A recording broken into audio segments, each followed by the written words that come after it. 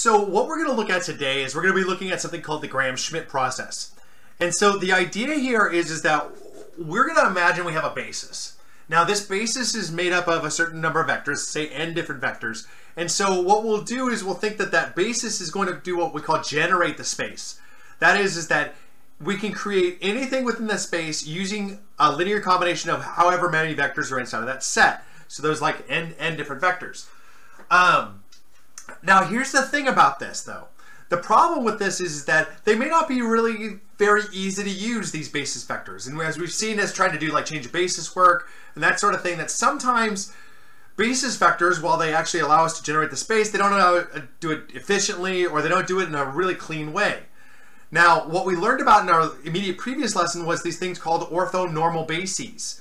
And an orthonormal basis is where the vectors in the basis, right, are, are all orthogonal and they are also all unit length. So they're orthogonal and unit length. Now, if you think about this, is really very, very handy because what ends up happening is if they're all orthogonal, you can kind of imagine having a coordinate system in which, you know, you go a certain direction here in this direction, certain direction here in this direction. We know that they're going to be at right angles, much like the standard basis. And since they're orthonormal, all we've got to do is we've just got to basically multiply, if we, whatever the scalar is that we multiply by the that basis vector, we know it's going to move or it's going to move our resulting vector in that direction exactly that magnitude, right? Because it's nor the, the vector is normal, and so since it's normal, that means that whatever scalar we multiply by, it actually that ends up being the magnitude of that particular vector. So we can actually, in fact, figure out the magnitude of the resulting vector simply by just adding up the values in uh, adding up the components of the vector that we're actually trying to generate. Okay, so it actually ends up being really, really handy. And if you think about it from a visualization standpoint, it makes a lot of sense, right? Our normal way of visualizing coordinate systems, which is basically what a basis is, is to think about like the x, y, and z axis. They're all orthogonal. They're standard basis vectors. They're all unit length, okay? And so that actually makes it really easy for us to think about like rectangular coordinate systems, things like that. So what we're going to do in the Gram-Schmidt process is we're going to take a basis and we're going to transform that basis into an orthonormal basis. So basically, we're going to take the vectors that are in the basis and we're going to transform them into a different basis that actually spans the same space. So it'll be a basis for the same space, but the vectors will now be orthogonal and they will also be um, uh, unit length. All right, let's talk about the process for the Gram-Schmidt process, okay? So what we're gonna do now is we're gonna imagine we have a vector space V and V is going to equal the span, and we have a basis for V made up of x1, x2, x3, so on and so on and so forth. Okay? So this actually ends up being um, the, the uh, basis that we're looking at. Okay? And what we want to do is we're going to generate an orthogonal basis.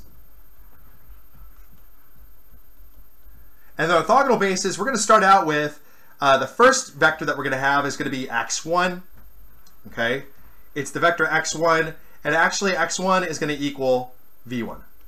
So there's the first element inside of our orthogonal basis is just going to be v1. We're going to put that first vector going to be put into there. Now I'm going to take the, my next vector, and that's going to be x2. Okay, here's x2. Let's imagine that's x2. And notice it's not actually orthogonal to, um, to our vector all right? Um, and so what we're going to do is we're going to generate an orthogonal projection. Okay, so I'm going to basically, I'm going to create, okay, um,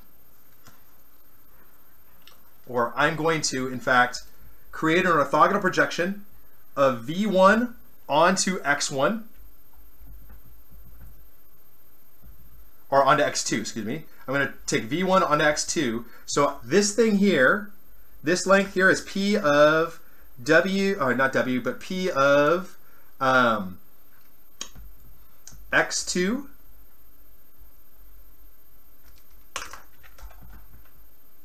Next up, what I'm going to do is I'm going to draw X2. So here's X2, okay? And what I'm going to do with X2 is I'm actually going to create an orthogonal projection onto v1. Okay, so I'm going to create, create a projection, uh, orthogonal projection. This is the projection of x2 onto v1. And it's that, that projection. And so remember that that projection, p of x2 comma v1, is going to end up equaling um, x2 with the inner product with v1 divided by the magnitude of v1 squared and then times v1. So remember that that's actually going to be that particular uh, particular vector, right? So we're going to create that, and now the orthogonal vector that we're going to be looking for is this one right here. Okay, that's that one's actually orthogonal. Okay, it's orthogonal to v1. Okay, and that's going to be called v2. And what that is, is that that's basically x2 minus p of x2 v1. So my x, my v2, my second vector v2 is going to now equal v1, um, not v1, but x2 minus x2 comma v1 divided by the magnitude of v1 squared times v1. And that now is a vector that is orthogonal to p, uh, or excuse me, that is orthogonal to v1, okay, and in fact generates the entire, the same plane as x1 and x2, okay, right? It's now just orthogonal. So what it's done is, is it's changed x2 to an orthogonal vector and the span of v1 comma v2 is actually equal to the span of x1 and x2 all right so basically we've gotten we were going to generate the same exact space now. It's just that what we've done is we've now made the two vectors orthogonal. So now I've got v1 and v2 those are my two vectors. Now I need to go figure out how to make v3 so this basic idea is going to be what we use in order for it to have the entire Gram-Schmidt process. Let's talk about finding now our V3, our vector V3. So V3, okay, what we're going to do is we're going to start out with X3. It's got to be a, we got to have a particular place to start with, with X3. And then what we're going to do, right, is we're going to first, we're going to subtract out um, the orthogonal projection P of um, X3 onto uh, V1 all right? And so what will happen there is we know that this gives me an orthogonal, this is orthogonal to V1. All right, that's the first piece. And then I'm going to subtract out the orthogonal projection P of x3 onto V2. And doing that, that x3 with the P of V3, V2, that makes it orthogonal to V2. Okay, so basically what we've done now is by, we kind of subtracted off the non-orthogonal parts of um, X3, the ones that are kind of like redundant inside of V1 and V2. And what we're left with then is, is we're left with this vector V3, okay, that gives us the same information, but now is orthogonal to, so it's orthogonal to V1 and V2.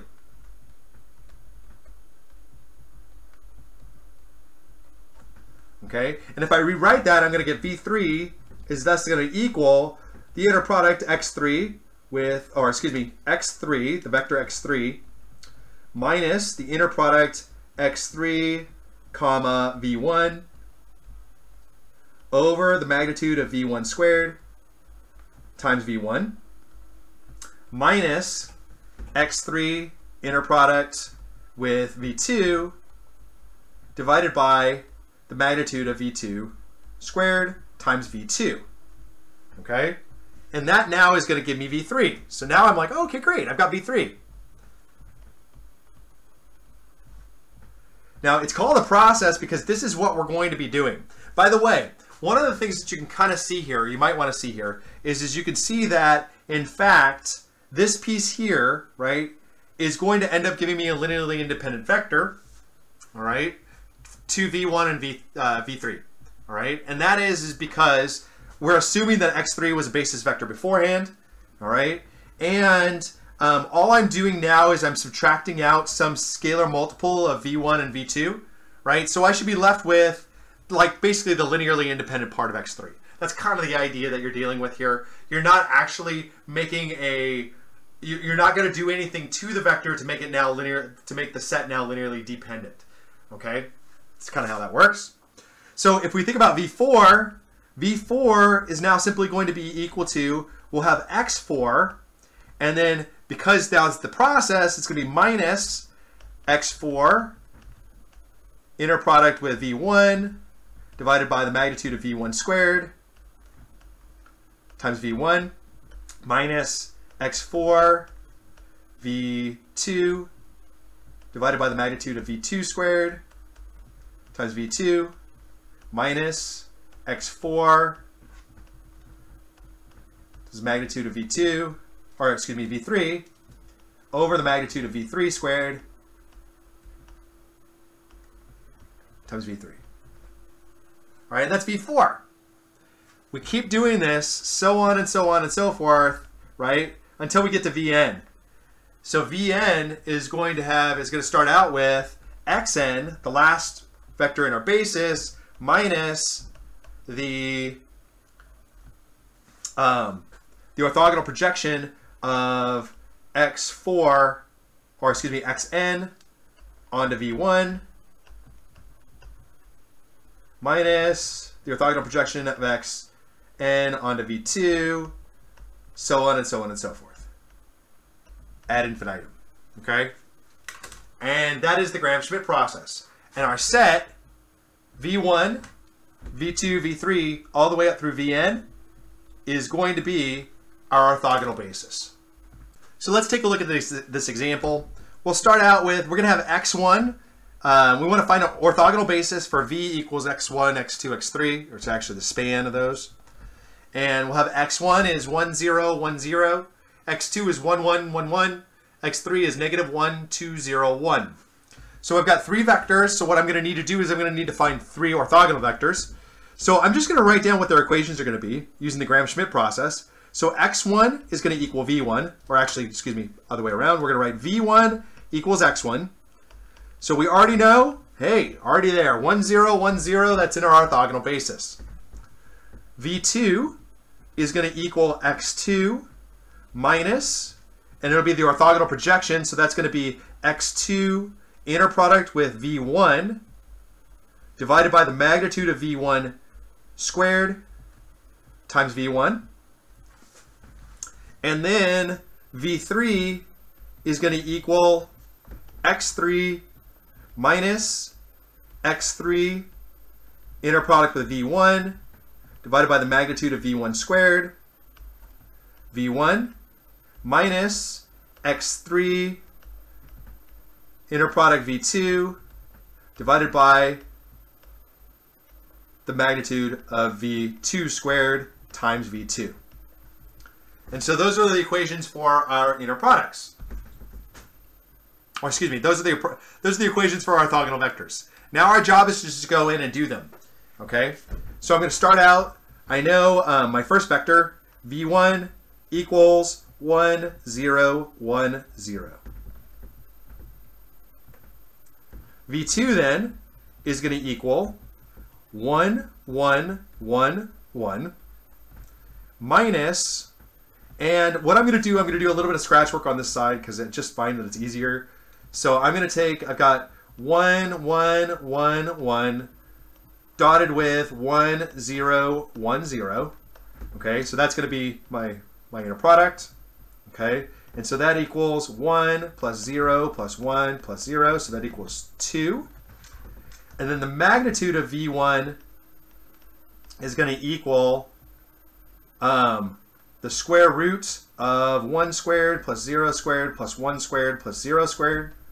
So that equals just the square root of 2.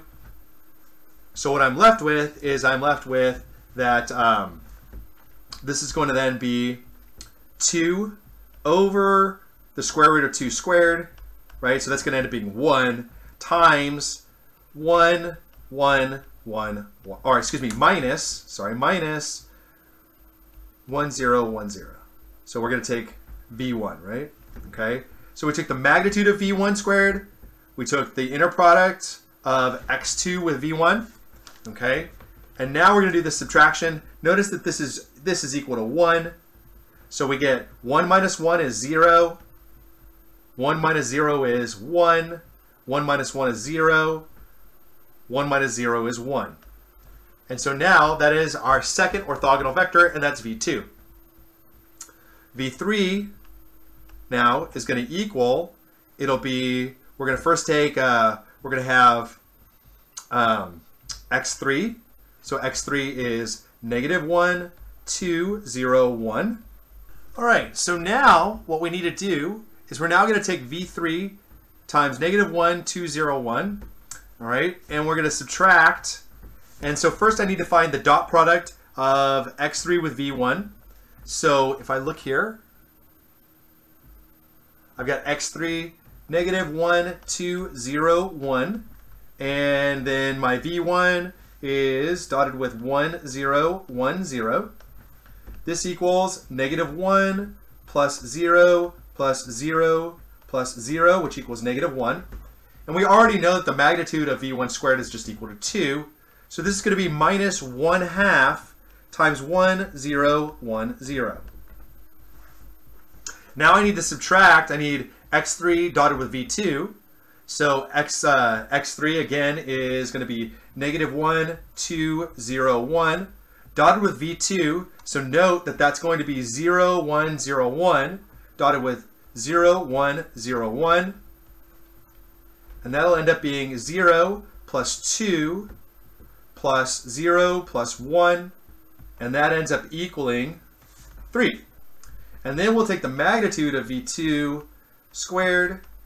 So the magnitude of v, V2 squared is just simply going to be 0 squared plus 1 squared plus 1, 0 squared plus 1 squared, which just equals 2.